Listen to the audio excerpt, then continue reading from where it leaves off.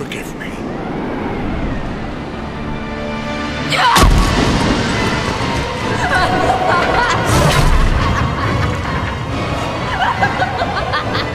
You'll never get the girl, Dante! What kind of man are you?